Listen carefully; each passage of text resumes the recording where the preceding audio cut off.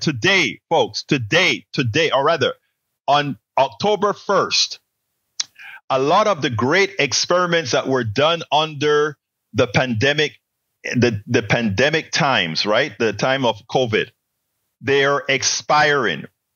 The good thing about it is that we proved that it worked. Childcare worked. The, the, the working supply expanded. So our productivity expanded as more workers, more efficient workers were out there. You know, we were supposed to be in a recession. We didn't get into a recession for several reasons. Keynesian plus MMT works. We went ahead and we gave money to parents so they could, or to institutions so their kids could go and get childcare at a preferred rate at an affordable rate, which allowed them to go to work and be a part of the economy. They paid more taxes, more money circulated, more money circulated. It kept the, the, the economy inflated. We gave we gave subsidies to poor parents, which took a lot of kids out of poverty. But taking them out of poverty meant those parents were out there buying products, doing things, right? Economy going up. And then student loans were put on pause with the expectation that they would be forgiven, right? What that meant is that instead of having to give your money to bankers for loans that they didn't inherently give, they're just administering these loans for the government, right? Instead of taking those billions of dollars every month out of the economy, people use that money to buy homes, cars, and a whole lot of things because again, the that that debt that they acquired by many times fraudulent means or or not fraudulent is the word I should use is uh, um, that they didn't do that they fooled people into these debts. The government was saying, you know, we need to start at ground zero. All that money lent itself back into the economy. In other words, it wasn't just going to rich bankers back or wasn't just going back into into not doing anything. The money kept on working. Well, three programs expired. The student loan, uh, the student loan uh, break that people get from paying on their student loans, it's not. It's back in action. Uh, Child care is back, as well as subsidies.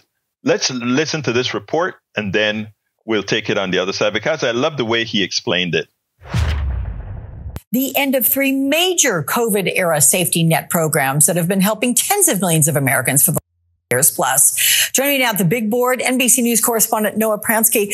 Noah, so let's talk about these government programs. They are expiring tomorrow.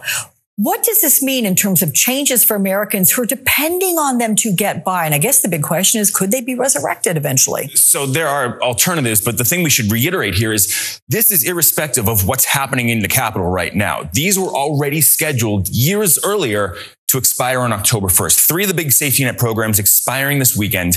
The student loan pause you've probably heard about, mm-hmm. but also childcare subsidies and food assistance. Dive into these one by one here. The student loan pause affecting over 40 million Americans.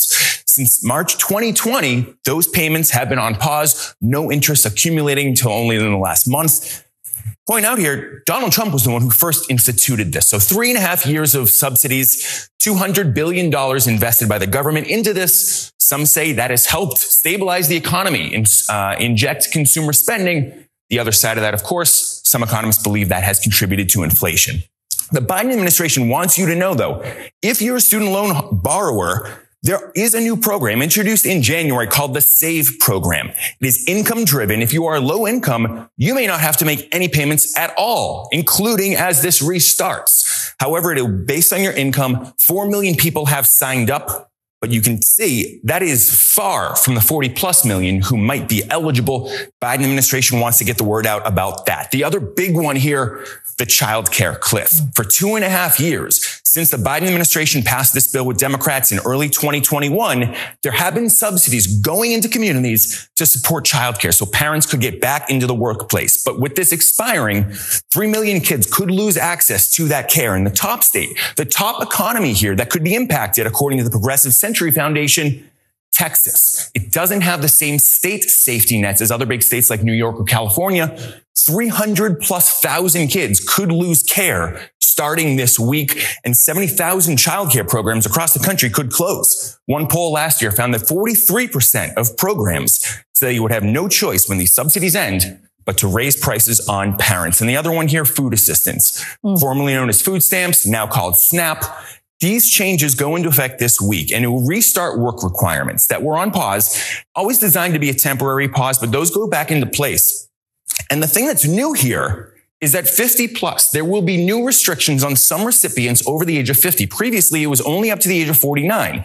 But one of the stipulations that was agreed upon between House, Senate, and the White House to keep the government open with a debt limit earlier this year was to new, add new requirements for 50 to 54 years old. Those will begin phasing in immediately this weekend. So for some people, they will face new requirements they hadn't seen before. All told, maybe up to a million people could lose food assistance starting October 1st. Add it all up, 44 million, 47 million, 48 million people across America will see these changes in addition to what's happening with the shutdown. The silver lining potentially, according to some economists, pulling some of this money and these subsidies out of the economy might help with the ongoing inflation problem. I want you guys to notice something that this guy said, and, and it's really uh, very evil. That if you have an economic system that says the following putting some of your residents in pain. Some economists believe that by inflicting this pain on people, it will reduce inflation rates.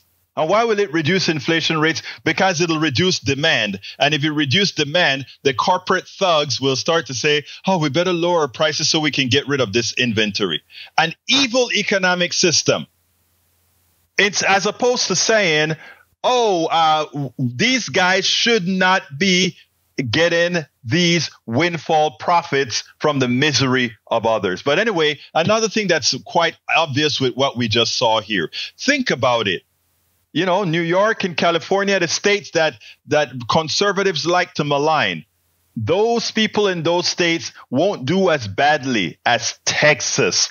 We are losing over 300,000 kids that are going to be left without childcare.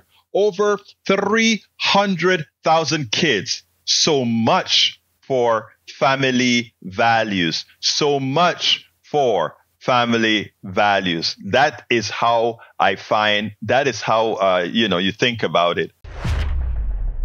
We spend a lot of time deconstructing the news, trying to trying to parse it into a form that everybody can understand. We try to find those little nitpicks where uh, it goes, it flies above the fray, etc.